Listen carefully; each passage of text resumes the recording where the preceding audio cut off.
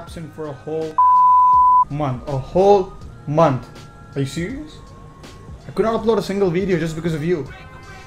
The viewers are pissed. You, everybody's pissed, man.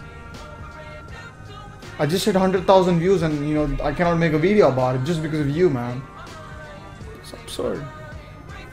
No, leave it. I'm finding a new camera, man. Just, just, just leave it. It's not.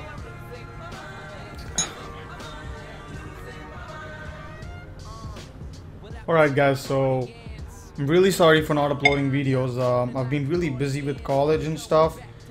A lot of stuff. I have taken science, so kind of busy with uh, compared to others. Uh, that's just what I want to do in life. I want to do something uh, something good. Still a long way to go, but I'm sorry for that. We are getting ahead of ourselves. In this video, we're gonna talk about Xonar. Uh, now, Asus is is one of my one of my favorite companies, just like uh, Sennheiser, Beyerdynamic. Uh, speaking of Beyerdynamic, that's a clue for our next unboxing video coming up real soon. Not real soon, about in a month. So just keep that in mind. If you if, you know if you subscribe to the channel, if you want to see what's going to happen, my audiophile headphone collection is just growing day by day and this again is this uh, video is again based upon audio and audiophiles in general not audiophiles but audio in general so let's get on with it now Xonar is is a line of uh, audio cards sound cards with amps DACs and stuff by Asus. Now Asus uh, if, if, you don't know has been having a really really good experience with uh, PCBs in general. They make one of the best motherboards in my opinion. I really even my motherboard is Sabertooth X79 uh, that's Asus. I like I really like Asus and I really think that their products are very well priced for what they are and they give a lot for the money the Xonar is uh, dedicated for uh, audio in general. Uh, it's not like even ROG comes under Xonar. Uh, so you know Xonar is a big segment of audio in Asus's uh, uh, sector which is quite nice in my opinion. Now I've divided the Xonar line of headphones in several parts. Now bear with me, I don't know every single model name, but I'm I'm gonna try my best to you know explain everything the way I can because that's uh, that's gonna be really easy for everybody and people are gonna love it. The D the D the D line of uh, the D that is the D you know the D line of uh, audio products by uh, or sound cards by uh, by Asus has been quite famous. That's the main that that is how it really started. Uh, DX that is the DX, then the DGX, then the what is that? The D one second. The DGX and the the DG. Those are one of the one of the one of the more common uh, cards by by Asus and um, like they were mainly made you know made for gaming and stuff and less for uh, perceived audio uh, audio for high fidelity audio, but they were still pretty good and pretty good value at that time. Still, even now, you can get a D. I think I think a DG you can get for like 30 bucks. Gives you 5.1, and uh, it's, it's, not bad. It gives you a better audio than uh, your onboard audio. Uh, speaking of cheap uh, Xonar uh, products, I'm gonna come to another one, but that's in a different uh, sector. As I said, the D series consists of these audio cards mainly for gaming, because the in 2008, I believe the Xonar the, the Xonar family was born, and the DGX, I believe, or the DG was the first uh, uh, sound card ever made. they used, I believe, everything was made by Asus except I think the amp was by Texas Instruments. I, if I, I could be wrong, I don't think I'm wrong, but still, uh, Texas Instruments mainly provides all the op amps and stuff to Asus for their uh, sound cards and stuff, which is quite nice. Texas Instruments, again, really good stuff.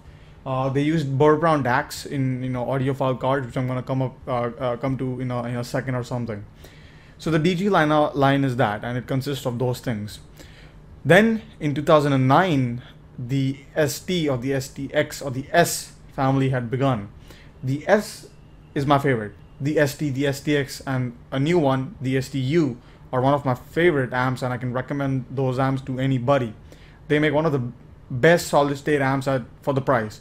The STX, which I'm having, uh, believe it or not, performs exceptionally well, and it could it could be ranked as a 300 to 400 dollar or 500 dollar amp solid state amplifier because the transparency in the mids is absolutely phenomenal. The bass extension is pretty good for the price. Overall, I think the the Essence STX is a stellar deal, and you just cannot go wrong with it. The uh, there is a bit of difference between the ST and the STX uh, because of the circuitry, because it uses PCI uh, E, that is PCI Express, and that's normal PCI 1X slot.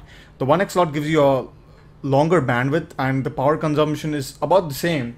They say that the that the that there's a bit of tightness in the treble. I don't believe it because uh, I don't think that makes that much of a big difference. Damp, it depends upon the headphone, the damping factor, but not the amplifier itself. I could be wrong. I have not tried the ST, but in my opinion, the the difference you know should be very less, uh, very far away from being audible. Uh, there there are some tonal differences, obviously, and uh, frequency uh, differences, but that's not a really big uh, you know breaking factor between those two. The STU in the screen, as you can as you, as you guys can see uh, by the way, you can see everything in the screen uh, whenever I'm talking about it. The STU is a new addition to the S, the S series or the S family. The STU just launched in 2012, I believe, and you know it is mainly targeting towards uh, budget audiophiles. It goes for around 300, 350 bucks. Uh, it uses a similar uh, uh, layout as the ST and STX, similar sound signature as whole, but it's in, it's in a it's in a non-PCI format. It's in USB format, so you get 24192. Uh, you get a great amp. You get a Burr Brown DAC. You get swappable op amps by uh, Texas Instruments, and you'll be good to go.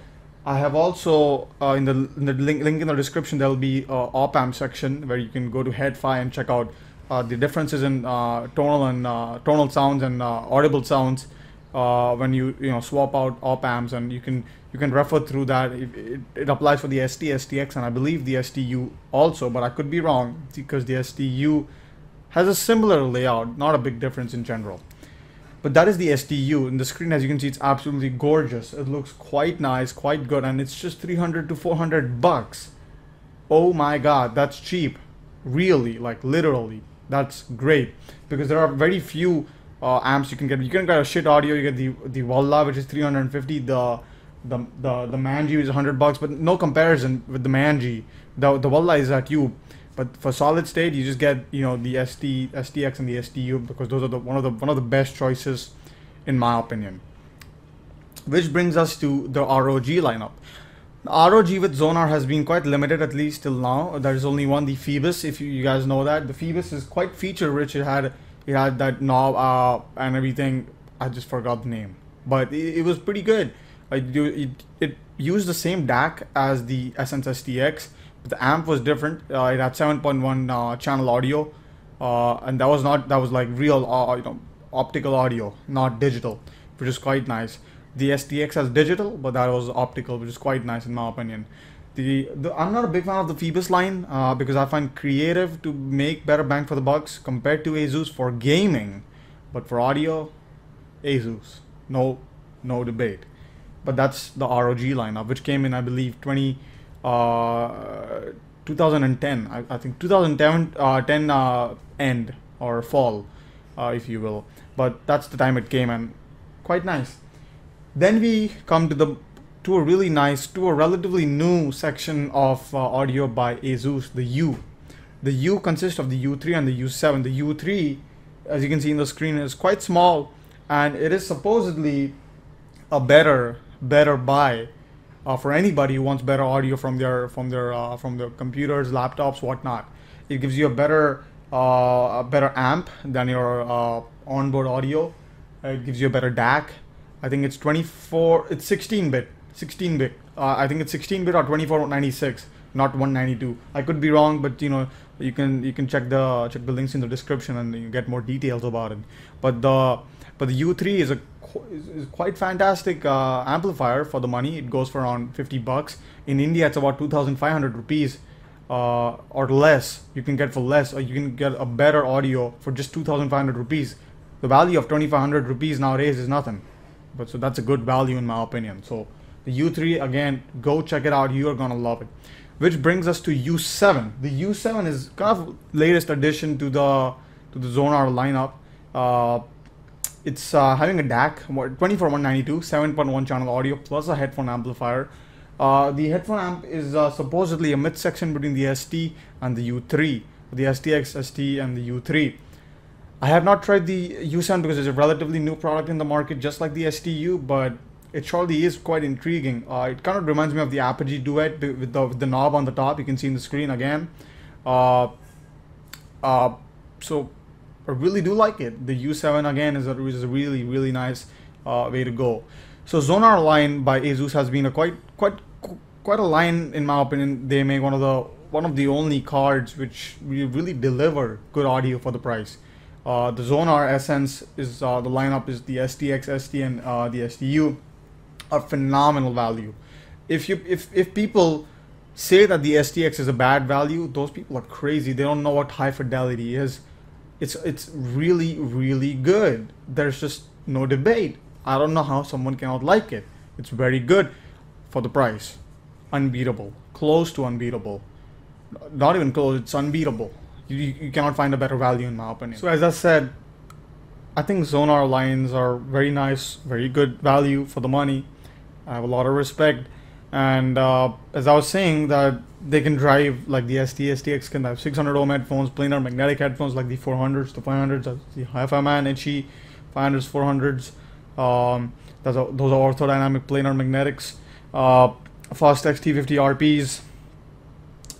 Then uh, I have also tried recently the Audeze LCD2, uh, the Audeze LCD3. Those probably work without any problem. The LCD2s worked relatively good, but still they you know they need a bit a bit more thump in the audio. And um, but for normal dynamic headphones, these are great, really good, really good value. Get them, you'll be really happy. The STX and the ST and the STU for for as a matter of fact, are one of my favorite products of the Xonar lineup. Anyways, that kind of concludes the video. I hope you enjoyed the How Did It Evolve episode 4. Um, sorry for not uploading videos, as I said again. Uh, I'll try to be more frequent. I just have to find more time because uh, these are time consuming, as you know.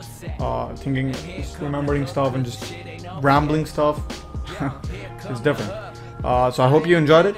Uh, as I said, the next video, probably next or after that, I don't know, depends upon my mood, is gonna be of a Beyerdynamic product. That's gonna come real soon. Um, shipping is gonna take a while, but if you guys, uh, if you guys can guess what it is, I'll be, I'll be happy to know in the comment section down below. So thank you for watching, and uh, we'll probably see you next time.